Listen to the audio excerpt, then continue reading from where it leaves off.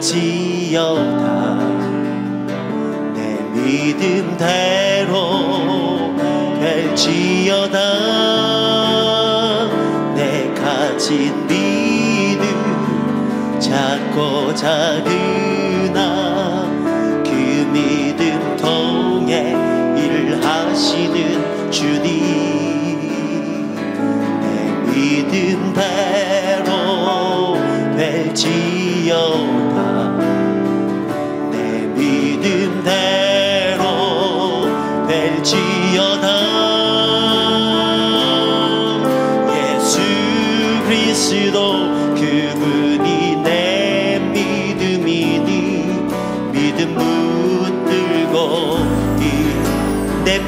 제대로 될지어다.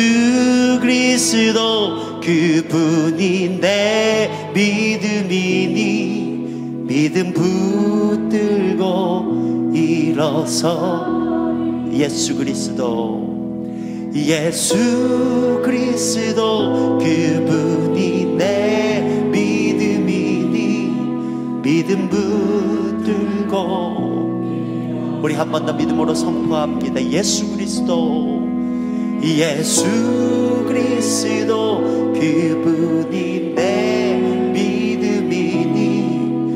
믿음 붙들고 일어서리 할렐루야 2018년 한 해 동안에 아, 주님께서 우리에게 이렇게 도전하시는 것 같습니다. 내 믿음대로 될지어다. 믿으십니까? 내 믿음대로 될지어다.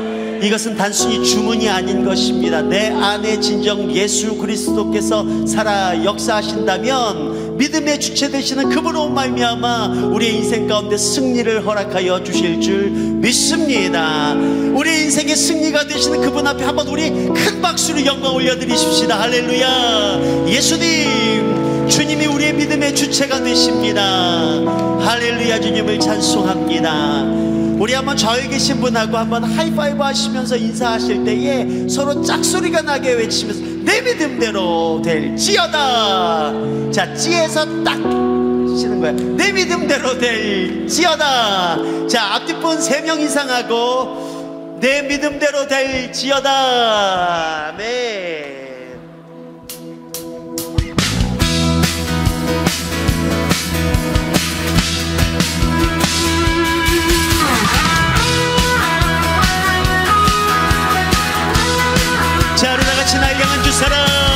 네. 사랑. 비길 데 없네. 세상 무엇도 바꿀 수 없어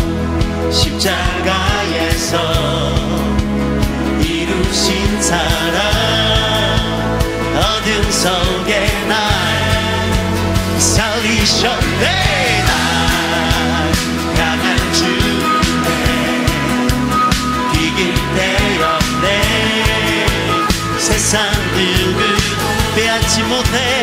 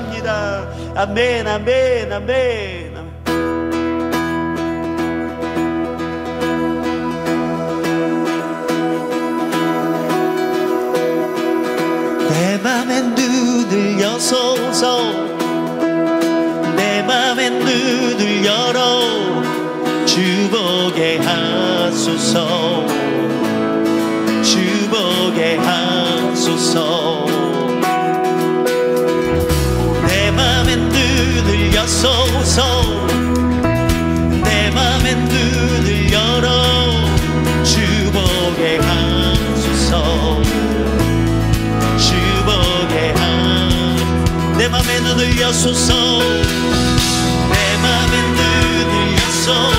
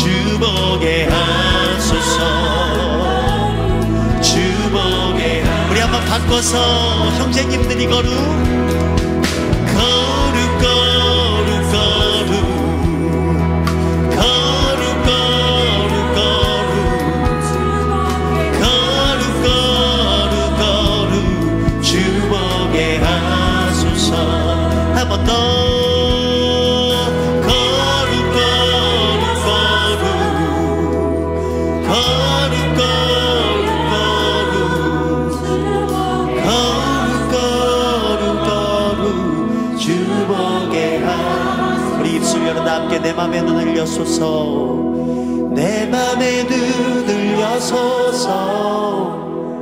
내 맘에 눈을 열어 주보게 하소서. 주보게 하소서. 주보게 주보게 하소서. 주보게 주보 오늘 이 날 저녁에 주보게 주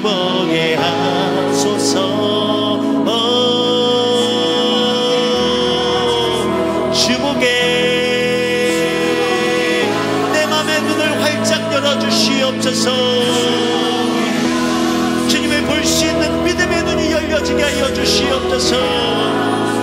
우리 안에 주님의 임재를 더 충만케 하여 주시옵소서 주님. 어, 주보게 하소서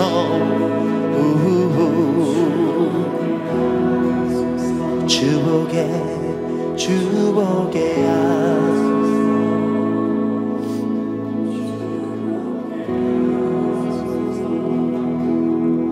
주님 계신 곳에 나가리 찬양 드리며 그 성소에 들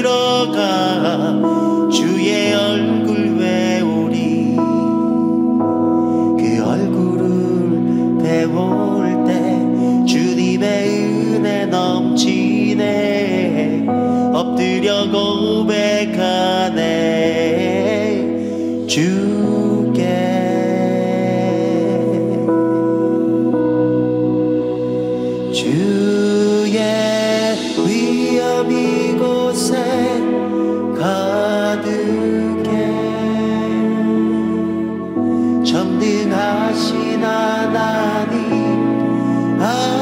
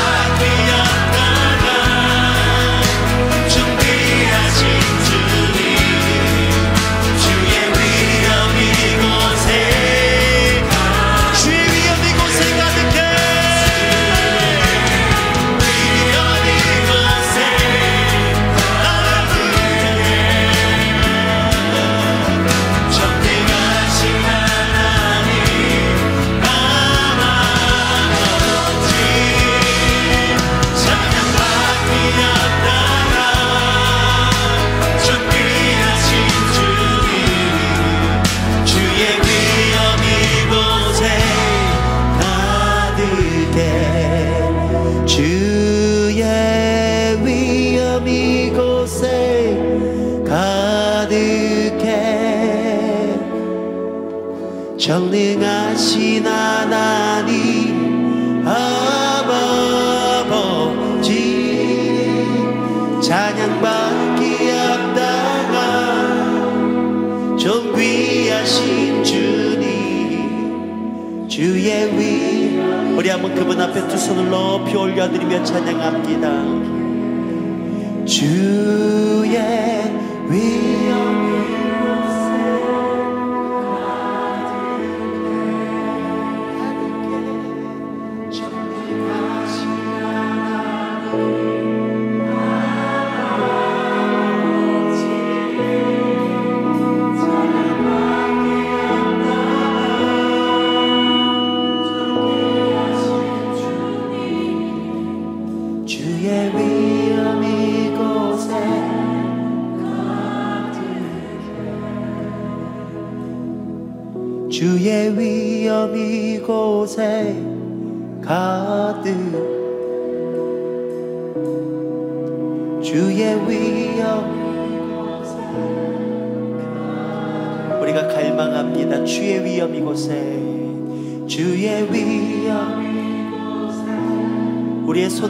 주 앞에 고백합니다. 주의 위엄 이곳에 주의 위엄 이곳에 충만하게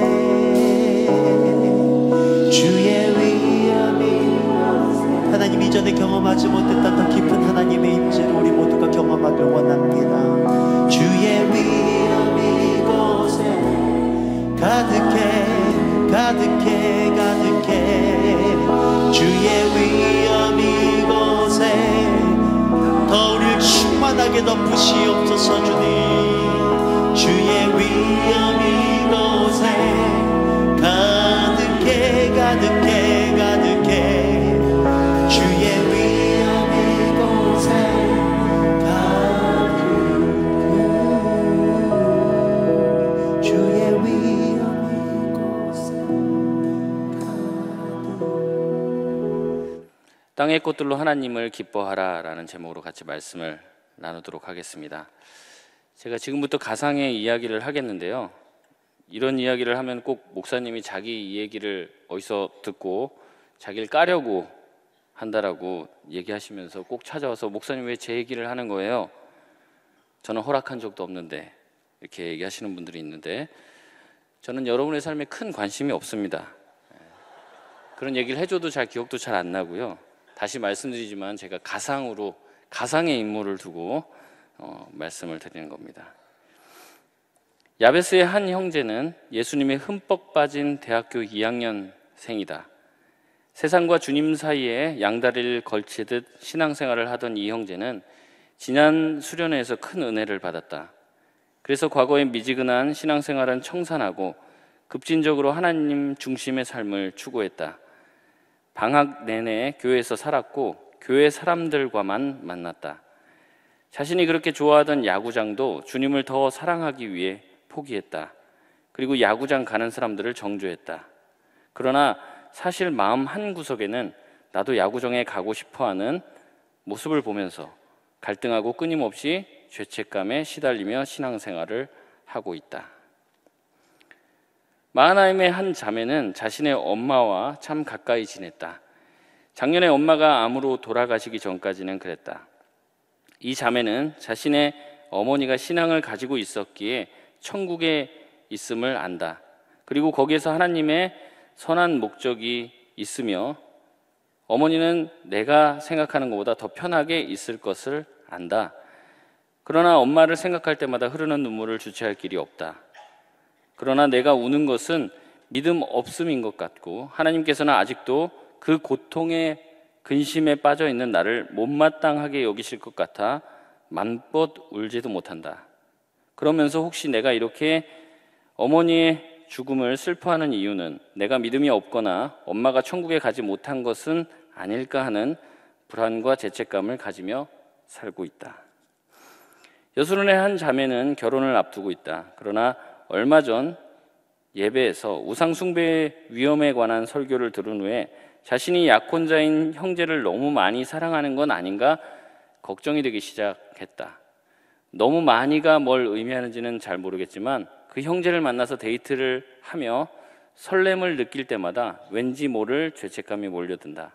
만약 하나님께서 아브라함이 이삭을 바치라고 한 것처럼 자신에게도 남자친구를 바치라고 하면 바칠 수 있을까 하는 생각에 사로잡혀 하나님만 전심으로 사랑하지 못하고 남자친구도 전심으로 사랑하지는 못하는 자신의 모습에 점점 연애가 지쳐가기만 한다. 가상의 인물로 제가 재구성을 한 겁니다. 혹시 위와 비슷한 사례를 여러분 경험한 적이 있으십니까? 만약 그렇다면 오늘 말씀은 여러분을 위한 말씀입니다. 우리 대부분은 하나님의 영광을 위해서 살고 싶죠? 아닙니까? 우리 대부분 하나님의 영광을 위해 살고 싶습니다. 하나님의 영광의 도구가 되고 싶죠. 맞지 않습니까? 그런데 하나님의 영광이 되는, 하나님의 영광이 되는, 하나님께 영광 돌리는 삶이 쉽지만은 않다는 거죠. 그래서 고민이 됩니다. 하나님이 우리에게 주신 것들이 많아요. 생각해 보면 내가 가지고 있는 대부분의 것은 하나님께서 나에게 주신 것이라는 거죠. 그런데 하나님이 주신 그 선물이 너무 좋은 나머지 이게 우상숭배로 치우치지 않을까 하는 염려가 우리 가운데 또한 있다는 거죠. 성경은 항상 우리한테 우리한테 이렇게 말씀하고 있습니다. 예수 그리스도 한 분만을 따르라고 이야기를 하고 있죠. 또한 예수 그리스도 한 분만을 사랑하라고 이야기를 하고 있습니다. 그렇기 때문에 주님이 나에게 주신 좋은 어떠한 것들을 내가 좋아하는 것 자체가 죄라고 느껴지는 사람들이 있다는 거죠. 그래서 하나님이 나에게 주신 그 선물을 마음껏 누리지 못하고 살아가는 사람들이 굉장히 많다는 겁니다. 그래서 그것을 가지고 있으면서도 내가 이거 좋아하면 안 되는데, 아, 근데 좋아하는 마음을 감출 수는 없고, 그것을 또 주신 하나님이 특별히 이유가 있어서 나한테 이걸 주셨을 텐데, 그러면서도 내가 이걸 좋아하는 게 주님을 좋아하지 않는 건 아닐까라는 갈등 속에서 많은 사람들이 살고 있다는 거죠. 하나님은 도대체 이런 거를 왜 나한테 줘서 나로 하여금 시험에 들게 하냐는 말이죠. 하나님은 이 물건으로 또한 이 존재로 나를 시험하려고 나한테 이것을 준 것은 아닌가 하는 생각도 하게 된다는 겁니다. 그래서 차라리 이 선물이 나한테 없었으면 하나님이 나에게 쓰라고 주신 이 선물이 나한테 없었으면은 오히려 갈등이 없고 편할 텐데 이것이 있음으로 말미암아 내가 더 하나님을 따르지도 못하고 하나님이 이 주신 선물 또한 누리지 못하는 것 가운데 살아가는 어, 많은 청년들이 있다는 것이죠. 사실 성경에는 많은 부분에서 이러한 땅의 것들에 마음을 두지 말라고 우리에게 경고하고 있습니다. 골로새서 3장 1절에서 2절까지 말씀을 보면 이렇게 나와 있습니다. 그러므로 너희가 그리스도와 함께 다시 살리심을 받았으면 위의 것을 찾으라. 거기는 그리스도께서 하나님 우편에 앉아 계시느니라. 위의 것을 생각하고 땅의 것을 생각하지 말라. 아멘. 우리의 생각을 어디에 두어야 한다고 가르치고 있습니까?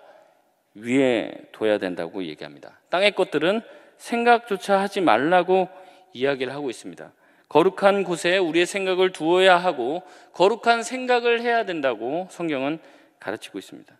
또한 빌립보서 3장 8절 말씀을 보면 우리가 잘 아는 구절인데 이렇게 이야기를 하고 있습니다.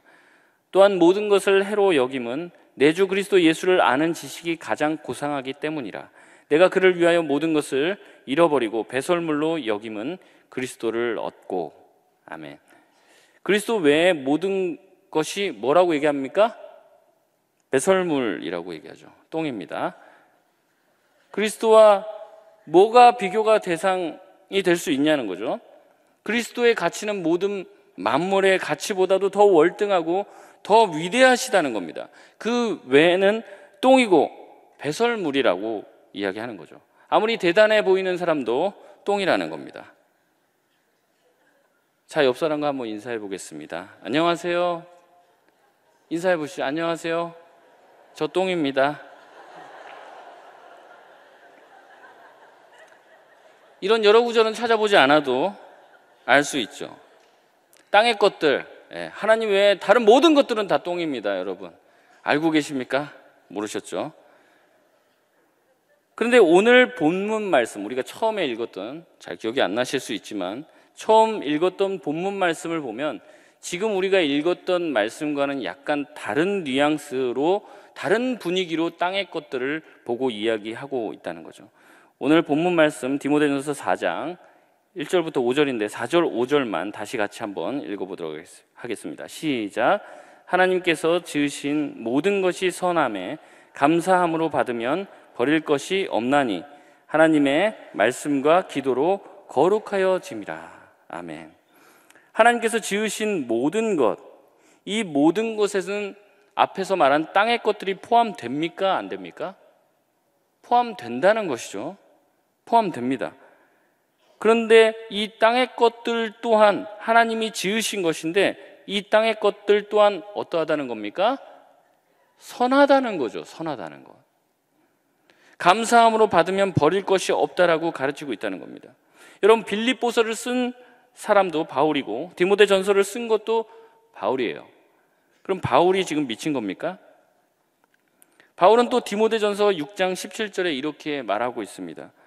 내가 이 세대에서 부한 자들을 명하여 마음을 높이지 말고 정함이 없는 재물의 소망을 두지 말고 오직 우리에게 모든 것을 후히 주사 누리게 하시는 하나님께 두며 하나님께서 우리에게 모든 것을 어떻게 주시냐면 후히 주신다라고 얘기하고 있어요. 모든 것을 우리에게 후히 주신다고요.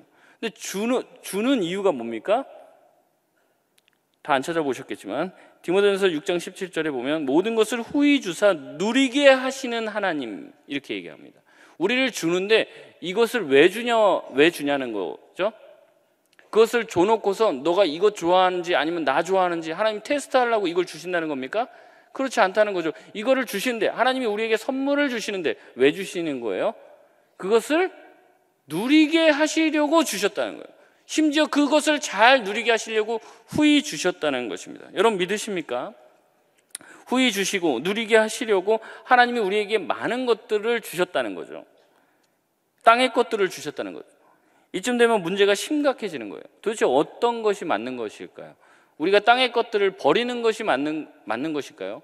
아니면 이 땅의 것을 죄책감 없이 마음껏 누리는 것이 하나님의 뜻일 것이요. 우리가 하나님의 영광을 위해 다 버려야만 하는 것입니까? 아니면은 우리가 이것을 하나님의 영광을 위해서 다 누려야 하는 것일까요? 번영 신약자들은 아까 읽었던 뒤에 구절만을 따와서 이렇게 얘기합니다. 땅의 것들은 굉장히 좋은 것이고 이것을 누리는 것은 하나님의 뜻이다. 그러니 누려라!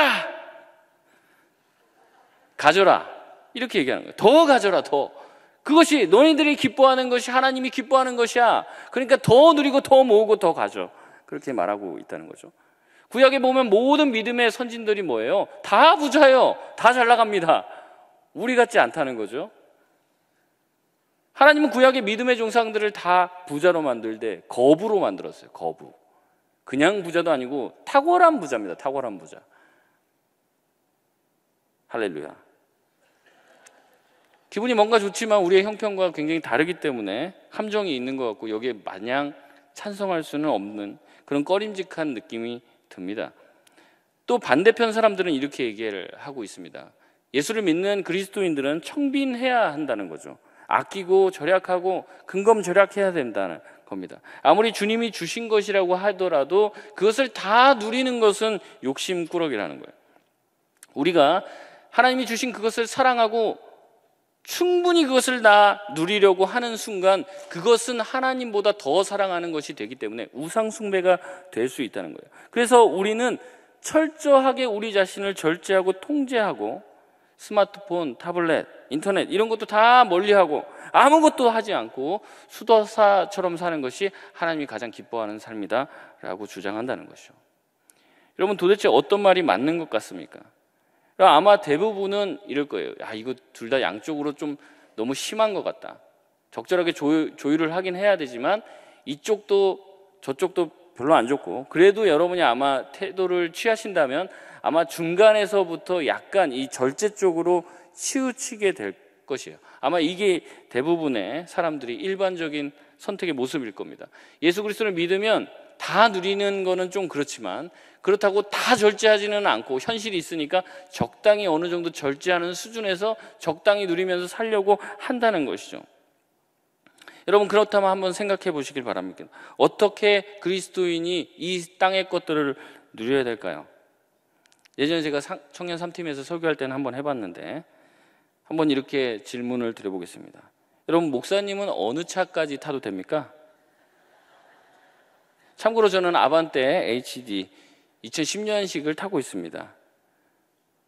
굉장히 청렴하고 괜찮은 목사죠.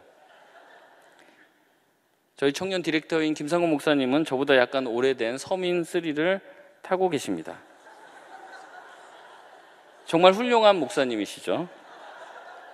그런데 어떤 목사님들은 막 SUV를 타고 다니고 중형차를 타고 다닙니다. 있을 수 없는 일이죠. 타락하고 변질된 것입니다. 이제 그게 시작입니다. 타락의 시작입니다. 거기서 대형차로 넘어가는 순간 이제 천국을 갈 것이냐 지옥을 갈 것이냐 그 결정되는 거거든요.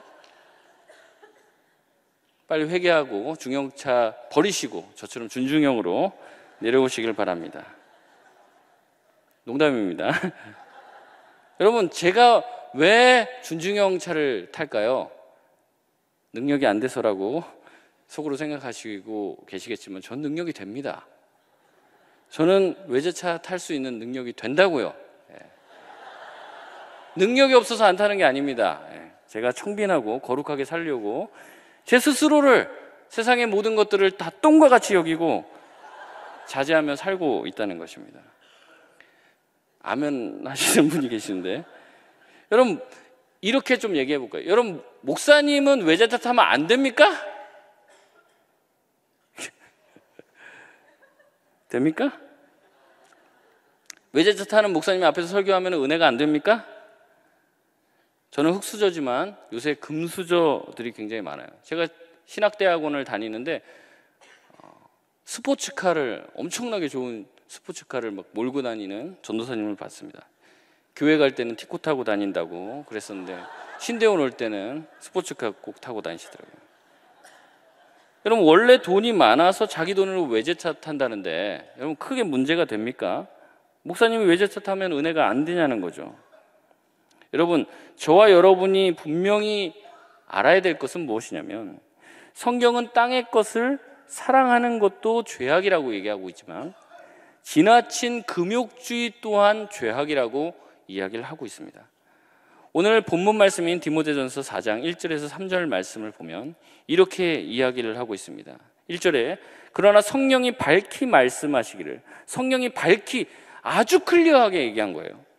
후일에 말세야 되죠. 어떤 사람들이 믿음에서 떠나 미혹하는 영과 귀신의 가르침을 따르리라 하셨으니 성령이 이렇게 얘기하는 거예요. 많은 사람들이 믿음에서 떠나 미혹하는 영과 귀신의 가르침을 가르칠 거다 이렇게 얘기합니다.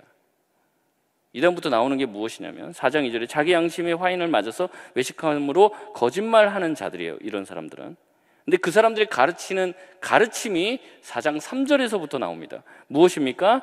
혼인을 금하고 어떤 음식은 먹지 말라고 할 터이나 음식물은 하나님이 지으신 바니 믿는 자들과 진리를 아는 자들이 감사함으로 받을 것이니라.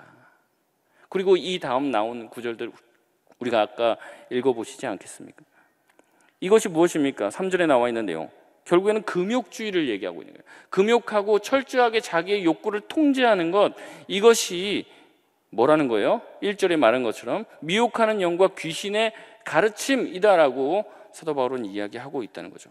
골로새서 2장 20절에서 23절까지 말씀을 보면 이렇게 나옵니다. 너희가 세상의 초등학문에서 그리스도와 함께 죽었거든. 어찌하여 세상에 사는 것과 같이 규례에 순종하느냐? 곧 붙잡지도 말고 만, 맛보지도 말고 만지지도 말라 하는 것이니 이 모든 것은 한때 쓰이고 없어지리라. 사람의 명령과 가르침을 따르느냐?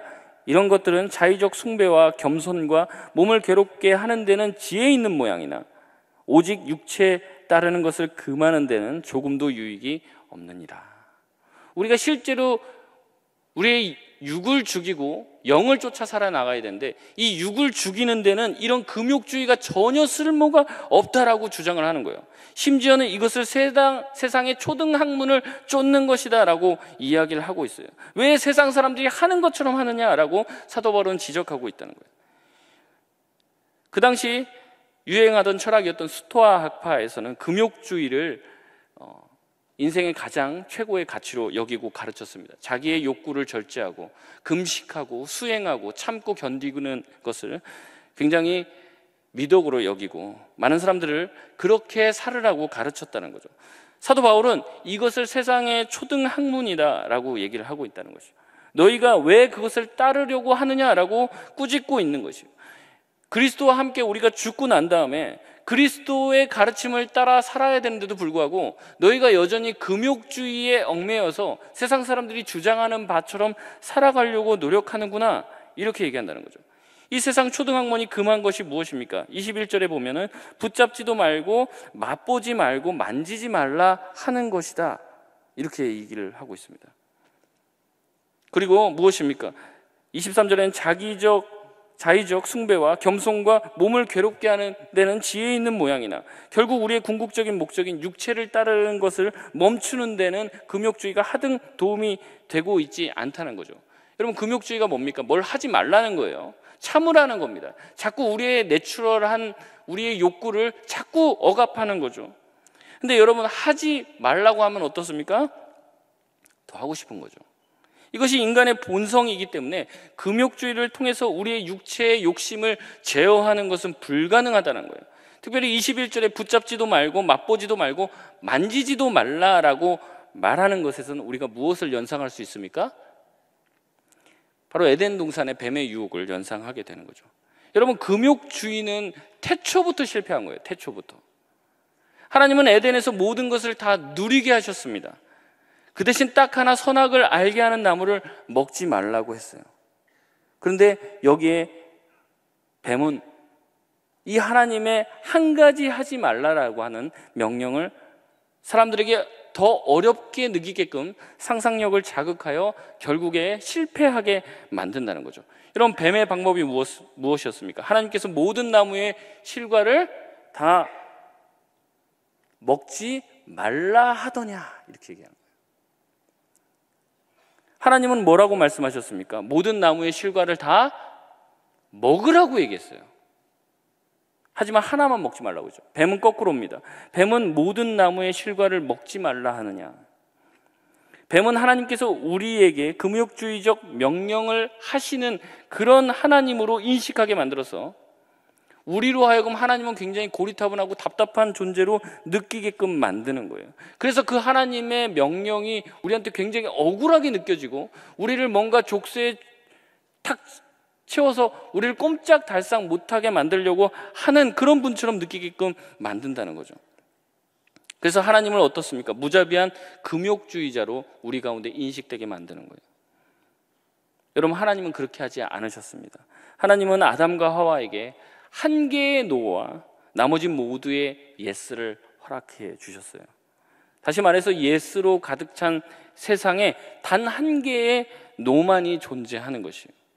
그러나 마귀는 우리에게 하나님은 인색하고 앞뒤 꽉 막힌 꼰대처럼 느끼게 만들어서 하나님은 우리를 억압하려고 하는 분처럼 느끼게 만들어 하나님의 말씀 그 한 가지를 지키는데 실패하게 만든다는 거죠.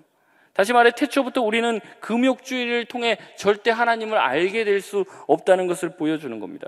금욕주의는 우리가 진정 하나님의 말씀을 알아가는데 하등 도움이 되지 않는 것이다라고 우리 가운데 말하고 있는 것이에요. 이것을 사도 바울은 알고 있기 때문에 그 당시 금욕주의를 가르쳤던 스토아 학파를 바로 이 사탄 최태초에 우리를 유혹하고 실패하게 했던 뱀의 유혹과 같이 비교해서 말하고 있는 것이에요. 그렇기 때문에 우리는 어때야 됩니까? 우리는 땅의 것들을 대할 때 금욕주의의 태도로 대해서도 안 돼요.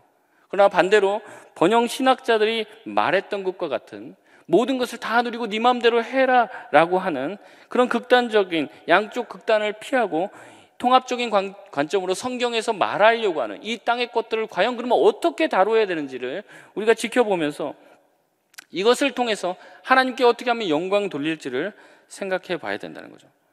사실 이 부분들이 굉장히 복잡한 부분이기 때문에 이 시간에 다 다루기는 굉장히 어려울 것 같아요. 하지만 기본적인 원리를 우리가 좀 지켜보고 하나님이 우리 가운데 주신 이 하늘의 선물을 통해서 어떻게 하면 하나님께 영광 돌리고 그것을 기뻐할 수 있을지를 생각해 보기를 원합니다.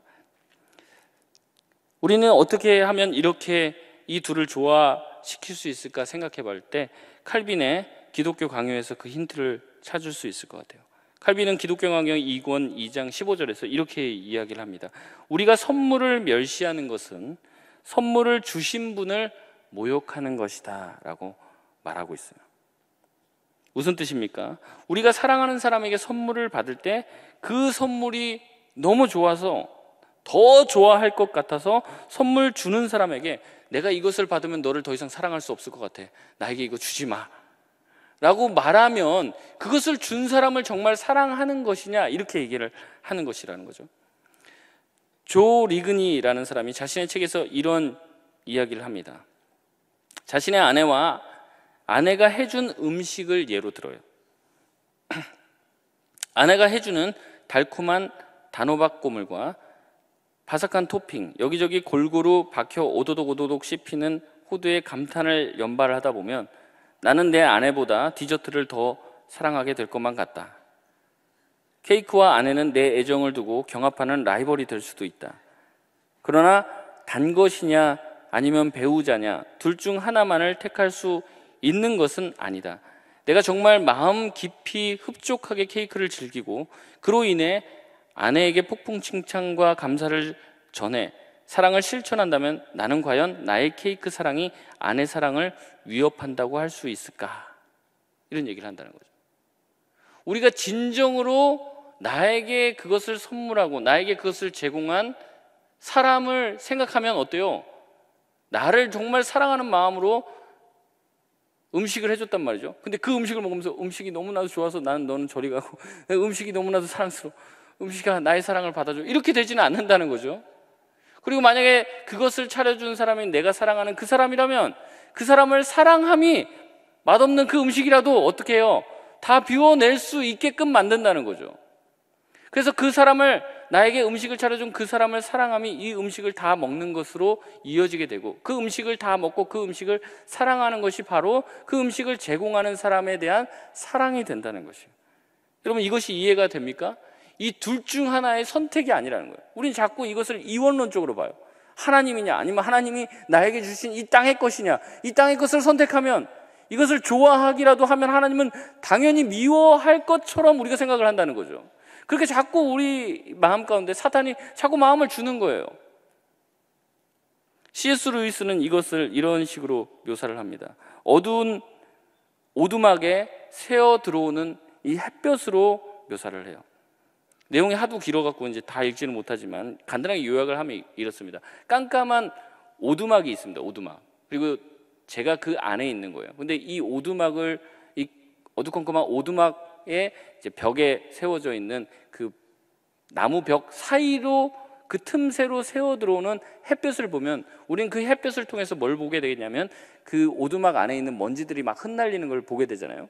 근데 우리가 자리를 조금 옮겨서 그 햇볕이 들어오는 그 틈을 우리 눈에 마주쳐서 이렇게 일직선으로 보게 되면 어떻습니까? 어두운 그 오두막 너머에 있는 밝은 세상을 보고 밖에서 그 햇볕이 비쳐 들어옴을 보면서 그 햇볕으로 인한 그 다음에 밖의 풍경으로 인한 아름다움에 경탄하게 된다는 거죠. 근데 그게 내가 오두막 안에 들어오면은 그 햇볕으로 인해서 들어오는 먼지밖에 보이지 않는다는 거예요. 다시 말해서 우리가 세상을 또 하나님께서 우리 가운데 주신 선물을 제대로 보기 위해서는 우리의 시각이 교정되어야 되는 거지. 우리가 하나님의 선물을 택할 거냐, 하나님을 택할 거냐라는 식의 이 이원론적인 사고방식을 가져서는 안 된다는 거예요. 이 내 삶에 필요한 것들, 나에게 하나님께서 주신 그 선물들을 제대로 보기 위해서는 뭐냐면 자리를 움직이고 우리의 시각을 바꿔서 이 선물을 주신 분이 누구인지를 생각할 때 비로소 이 선물과 하나님을 동시에 사랑하고 기뻐할 수 있는 방법을 터득하게 된다는 거예요. 아시겠습니까? 엄청나게 이게 지금 IQ 그한150 이상 되지 않으면 이해할 수 없는 진리를 얘기를 하고 있는 거예요. 우리가 땅의 것들을 제대로 봐야지 비로소 그 땅의 것을 주신 하나님을 발견하게 된다는 거예요. 물론 내가 땅의 것들을 우상숭배할 우려가 전혀 없다. 그 말씀 드린 것은 아닙니다. 우리는 땅의 것들을 너무 주목하면서 보다가 오히려 우상숭배에 빠질 경향이 굉장히 높아요. 왜냐하면 우리는 연약한 존재이기 때문에 이 땅의 것을 주신 하나님을 보기보다 이 땅의 것 자체에 우리의 마음을 두고 그것을 사랑하기 되게 쉽다는 거죠. 근데 우리가 그렇기 때문에 이것을 뭐예요? 땅의 것들, 하나님이 주신 땅의 것들을 멀리하고 이 모든 것을 다 통제하고 절제하고 아무것도 하지 않겠다. 이런 금욕주의 또한 하나님이 우리 가운데 죄라고 말씀하시는 거라는 거죠. 그러면 우리는 어떻게 해야 됩니까? 훈련을 해야 돼요. 어떤 훈련을 해야 됩니까? 우리에게 주신 그것을 통해서 하나님을 보는 훈련을 해야 된다는 겁니다. 남녀 간의 진한 사랑을 통해서 우리는 나같이 부족한 인간도 저 부족한 인간도 내가 정말 사랑하는 마음을 가지고 대할 때는 정말로 저 사람의 못난 모습이 보이지 않고 날마다 이 사람 때문에 밤잠도 오지 않고 날마다 연락하고 싶고 날마다 그를 위해서 뭔가를 해주고 싶은 이런 마음이 든다면 하나님이 나를 사랑하는 것은 정말로 더 얼마나 나를 끔찍하게 생, 끔찍, 끔찍이 나를 사랑하시고 나를 지켜보시고 나를 향한 얼마나 완벽하고 풍성한 생각을 하고 싶을까를 연장선에서 볼 수 있어야 된다는 거죠. 그러니까 우리의 시각이 여기에서만 멈추면 안 된다는 거예요. 여기서 더 뚫고 나가 그것의 본체이신 하나님을 볼 수 있어야 된다는 거예요. 맛있는 음식을 먹으면서 아이 막 음식 되게 맛있네. 이렇게만 하는 것이 아니라 이 음식에 쓰여진 재료들을 만드신 하나님을 봐야 된다는 거죠. 그리고 이렇게 많은 재료들을 조합해서 요리할 수 있는 좀 되게 신기하거든요. 이런 조리법들이 다 어디서 나왔나? 이런 조리법을 만들 수 있는 지혜를 우리에게 주신 하나님의 지혜를 볼 수 있어야 되는 거예요. 그리고 그 맛을 느낄 수 있도록 우리에게 미각을 허락해 주신 하나님의 창조 섭리를 볼 수 있고 그것 때문에 하나님께 우리가 음식 하나를 먹으면서도 어때요? 찬양을 돌릴 수 있는 수준에까지 우리가 훈련되어야 한다는 것이죠. 우리가 그런 눈으로 세상을 바라보기 시작하면 세상이 달라지게 되는 거예요. 여러분 외자차 타고 멋진 차 타고 여러분 그것이 우리 가운데 우상이 되면 안 돼요. 그것만을 사랑하면 안 돼요. 그것을 통해서 더 멀리 계신 이것을 나에게 허락해 주신 하나님을 볼 수 있어야 된다는 거죠. 이것을 내가 구입할 수 있도록 하나님이 나에게 물질을 허락해 주셨음에 감사할 수 있어야 되는 거죠. 또한 이런 자동차를 멋지게 만들 이 자동차 를 어떻게 우리가 만들 수가 있겠습니까? 이 광물을 채취하고 그 광물 안에 녹여져 있는 그 철을 또 추출해내고 이 철을 통해서 이 멋진 디자인을 만들고 주물에다 집어넣고 많은 여러 가지 기술과 여러 가지 지혜들이 결합되어서 이 하나의 자동차가 움직일 수 있는 복잡한 메커니즘을 이루게 만든 그런 놀라운 지혜와 능력을 주셔서 우리 누구나든 돈을 주고 그 차를 구입해서 기름만 넣고 타고 다닐 수 있도록 모든 광물과 에너지를 다 이 지구라는 곳 안에 주님께서 숨겨두셨다는 거죠. 그 하나님을 우리가 보면서 하나님을 경탄할 수 있어야 된다는 거예요. 그것이 바로 하나님이 우리 가운데 주신 땅의 것들을 누리는 태도라는 겁니다. 그냥 나에게 있는 것, 그것만 보는 것이 아니라 그것 이상의 것을 볼 수 있어야 되는 것이죠. 이것이 바로 영안의 눈이 열리며 하나님을 찬양할 수 있게 되어진다는 것이. 우리에게 훌륭한 지혜와 이성을 주셔서 세상의 모든 것들을 우리가 판단해 볼 수 있고 세상의 원리를 탐구할 수 있도록 해 주신 주님. 우리가 이러한 세상 모든 만물을 그 자체로 보지 않고 그것 이면에 하나님이 우리 가운데 주셨다라는 것을 깨닫고 이것을 볼 수 있는 영안의 눈이 열리면 우리는 하나님을 지금보다 더 사랑할 수 있게 될 줄 믿습니다. 우리는 하나님을 더 기뻐할 수 있어요. 이렇게 나한테 소중한 것들을 주신 주님, 하나님 감사합니다. 나에게 주, 아이폰 X를 주신 하나님 찬양합니다.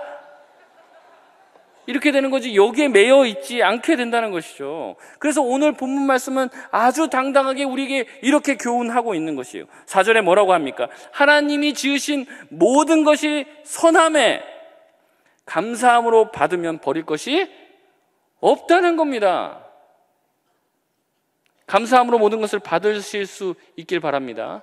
이것이 우상숭배가 되면 안 돼요. 제가 여러 번 말씀드리지만 우상숭배가 될 가능성이 높습니다. 우리가 이거에 집착하다 보면. 근데 이렇다고 우리가 밀어놓게 되면 이것을 우상숭배하지 않느냐? 우상숭배 한단 말이에요. 마음 안에서. 그렇게 되니까 어떻게 합니까? 이것을 주신 하나님을 보는 훈련들이 우리 가운데 계속 되어야 돼요. 성경은 그것을 가르치고 있습니다. 그렇게 하는 것이 우리가 제대로 된 창조와 피조 세계를 누리는 것이다라고 말씀을 하고 있어요. 특별히 5절은 우리가 그렇게 우상숭배의 위험을 벗어내고 우리가 하나님이 지으신 모든 것을 감사함으로 받을 수 있는 비결을 말하고 있습니다. 그것이 무엇입니까?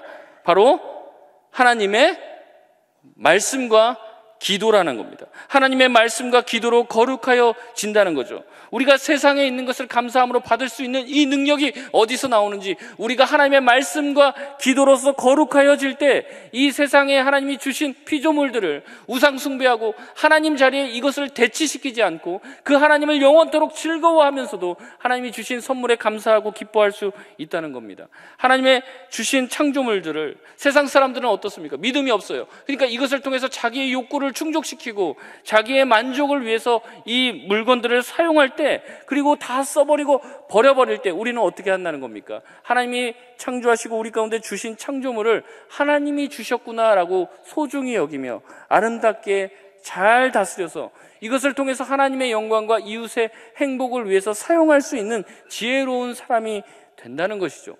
이렇게 될 때 하나님께서 이 땅을 하나님의 나라로 온전히 세워가고 저와 여러분 한 사람 한 사람들을 이 땅 가운데 불러내시고 하나님의 선물, 소위 말하는 땅의 것들을 저와 여러분에게 주신 이유가 바로 여기에 있다는 것입니다. 말씀을 마치겠습니다. C.S. 루이스는 미라클이라는 책에서 이렇게 이야기를 하고 있습니다. 우리가 현재 순례하는 여건에는 금욕과 포기와 자연스러운 욕구를 죽이는 일이 많다. 그러나 모든 금욕주의의 이변에는 썩어질 부요도 믿고 맡기지 못할 존재가 우리라면 누가 우리에게 참된 부요를 믿고 맡길까라는 생각이 있어야 한다. 이 땅의 몸조차도 제어하지 못하는 내게 누가 영적인 몸을 믿고 맡기겠는가? 우리는 언젠가 예수님의 재림으로 인해 영원한 부활의 몸으로 새롭게 될 것입니다. 그렇기 때문에 우리는 현재 하나님의 영광스러운 선물을 즐기면서 동시에 그 영광스러운 선물을 주신 주님이 재림하셔서 우리에게 완벽하게 주실 그 영화로운 선물은 우리가 지금 좋아하는 그것보다도 더 좋고 더 완벽하고 더 우리를 기쁘고 즐겁게 할 것이라는 거예요. 그러니까 우리는 어떻 어떻게 합니까? 우리에게 주신 하나님의 그 선물의 노예가 되지 않고 이것을 다스리고 이것을 통해 하나님의 영광을 드러낼 수 있는 하나님이 정말 기뻐하는 삶을 살 수 있는 사람이 되어야 된다는 거죠. 이 세상의 모든 피조물들은 오직 그리스도를 통해서만 주어진다는 겁니다. 오직 하나님이 만드신 것만 이 세상에 존재하는 것이요. 이것을 믿음으로 우리가 받고 믿음의 눈으로 하나님을 보고 이것을 통해서 하나님께서 받으실 영광을 찬양하고 그 나에게 주신 그 하나님의 선물만 바라보는 게 아니라 선물을 주신 그 하나님을 영원토록 즐거워하며 하나님이 나에게 또한 무엇을 주셨을까? 그리고 이 물건을 통해서도 하나님을 계속 발견해 나간다면 우리가 사소한 것에서도 하나님의 영광을 하나님의 개입과 하나님이 나를 얼마나 사랑하시고 나를 얼마나 기억하고 계시며 나에게 얼마나 좋은 것을 주기를 원하시는 선하신 하나님을 발견하게 되면서 이 세상에서 살아가는 삶을 우리가 풍성히 누리면서 살아갈 수 있게 되어진다는 것입니다. 여러 가지 죄책감 가운데 시달리는 우리 청년 여러분, 다시 한번 우리가 우리 가운데 준 것에 종로를 타지 않고 이제는 그것을 통해서 하나님을 바라볼 수 있는 기쁨이 회복될 수 있는 저와 여러분 되시길 주의 이름으로 소원합니다.